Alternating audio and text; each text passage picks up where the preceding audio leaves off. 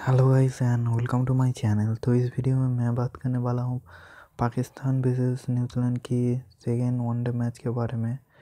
तो इससे पहले मैं आपको बता दूँ, अगर आपने मेरा P S versus Perth versus Melbourne का मैच नहीं देखा तो देख लीजिए क्योंकि उस मैच में जो मैंने यूट्यूब पे टीम दिया था, उसका जो रिकॉर्ड था बहुत ही ज़्यादा अच्छा है। तो मैं आपको नहीं दिखा रहा क्योंकि इसमें थोड़ा वीडियो थोड़ा लंबा बन जाएगा। सो प्लीज़ आप चेकआउट कर लीजिएगा। अगर आप अच्छा विन करना चाहते हो तो उस वीडियो से आपको आइडिया मिल जाएगा क्यों मेरा चैनल को आपको सब्सक्राइब करना चाहिए और लाइक करना चाहिए और देखना चाहिए ताकि मैं आपको जो out of the box thinking के साथ एक सॉलिड टीम देता हूँ, ठीक है? तो कॉन्सेंट्रेट करते हैं इस मैच पे।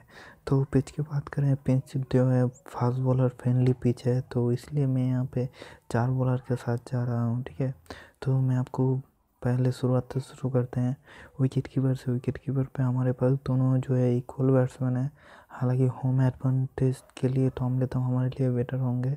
तो आप चाहें तो यहाँ पे सरबराज अहमद के साथ भी जा सकते हो, ठीक है? तो अब बात करते हैं कुछ बैटिंग की, ठीक है? बैटिंग में बहुत सारे अच्छे हमारे पास ऑप्शन है, जैसे Kane Williamson Pawar Hasan Martin Guptill Ross Taylor हज़ार अली, कॉलिन मुंट्रो मोहम्मद हफीज़, जो कि बॉल नहीं करेंगे, मैं आपको फिर से बता दूँ, ये बैन किया हुआ है, सिर्फ़ बैटिंग करेंगे। तो इसके अलावा हमारे पास जो कि पिछला मैच उन्होंने बहुत अच्छी बैटिंग की थी, फ़खर जमान। तो आप चाहें तो इसे भी ले सकते हो और हैंगरी निकोल को भी आप ले सकते हो। तो मैंने यहाँ पे Kane Williamson, Martin Guptill, Colin Munro, Fakhar Zaman को लिया है, ठीक है? तो मैं अगर आपको, मैं आपको कोई बैट्समैन को लेने की सजेशन दे सकता हूँ तो रॉस्टलर रॉस्टलर को आप ले सकते हो क्योंकि ये बहुत ही अच्छे फॉर्म में है।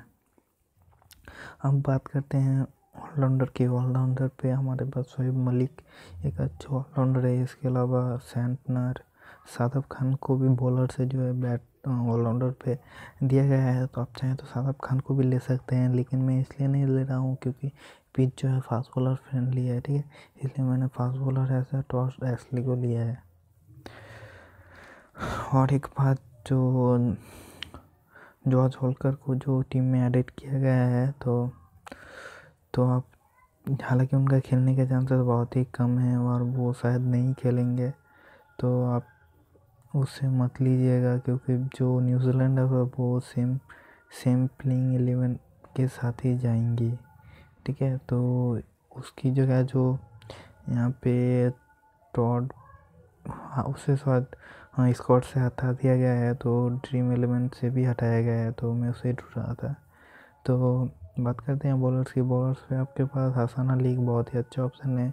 टीम सऊदी टेन बोल्ट और मोहम्मद अमीर। ये तीनों टॉप क्लास चारों टॉप क्लास बॉलर है और मैं इन चारों के साथ ही जा रहा हूँ। तो इसके अलावा आपके पास यहाँ पे फ़हीम अशरफ लॉकी फर्गसन रुमान रईस ये तीनों भी अच्छे खासे ऑप्शन हैं।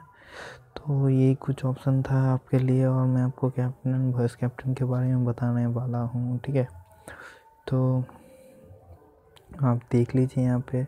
हाँ केमुलेसन आपके लिए अच्छा ऑप्शन होंगे कॉर्नर मोड अच्छा ऑप्शन होंगे, जो कि सभी के होंगे। इसके अलावा आपके लिए अच्छा ऑप्शन हो सकते हैं मेरे हिसाब से, जो है माटिल गप्टिल फकर जमान सोहेब मलिक, ठीक है? और बॉलर्स की बात करें तो ten ball Amir, Hasan Ali and Southee मुझे लगता है चारों ही बहुत ही अच्छे परफॉर्मेंस देंगे कल मैच में, ठीक है?